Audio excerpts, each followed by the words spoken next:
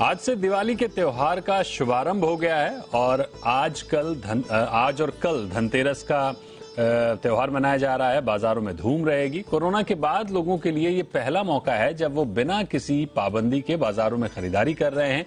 रोशनी से सजे बाज़ार और रंग बिरंगी कंदील, फूलों वाली झालर शुभ लाभ की लड़ियाँ और सुंदर मिट्टी की लक्ष्मी गणेश की मूर्तियों से बाज़ार गुलजार हो चुका है।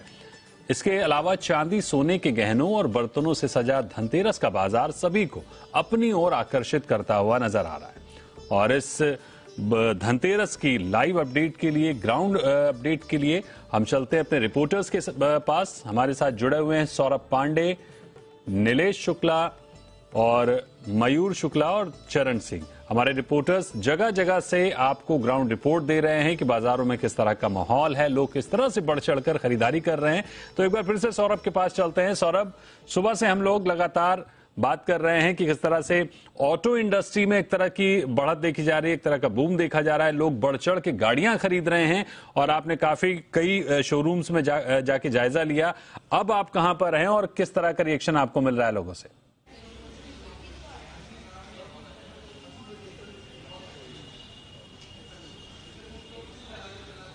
जी, इस वक्त हम मौजूद हैं मुंबई के कांदीवली इलाके में और आपको दिखाना चाहेंगे हमारे विजुअल्स के माध्यम से कि किस तरह से यहाँ पर जो लोग हैं वो आ रहे हैं और अपनी गाड़ियों की जो है वो यहाँ पर वो डिलीवरी ले रहे हैं। आप देख सकते हैं यहाँ पर तरह तरह की जो है वो गाड़ियाँ रखी हुई हैं। लोग अपने जो क्वायरीज हैं और जो पूरी डिलीवरी है उसकी तैयारी कर रहे हैं और आप देख पाएँगे हम कि मतलब जो खुशियाँ जो हैं लोगों के चेहरे पर, वो जो है वो सिर्फ़ देखते ही बनती है। इसके साथ ही साथ यहाँ पर जो है हमारे साथ जो है एक ग्राहक हैं, वो जो है अपनी गाड़ी की डिलीवरी लेने आए हैं। और आपको दिखाना चाहेंगे कि किस तरह से, किस तरह से जो है वो गाड़ी की अपने जो है अनविलिंग कर रहे हैं। और आइए हम सीधा जो है इन्हीं से बात करते हैं कि इनका इस बारे में क्या कहना है। और जो ये गाड़ी ले रहे हैं उनकी जो गाड़ी है उसकी क्या विशेषताएँ हैं? सर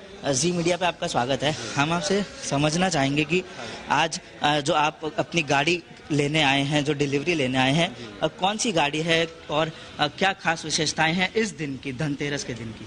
धनतेरस के दिन हमारे में माना जाता है कि आज के दिन अगर हम कोई प्रोडक्ट लेते हैं तो अच्छा होता है, शुभ होता है।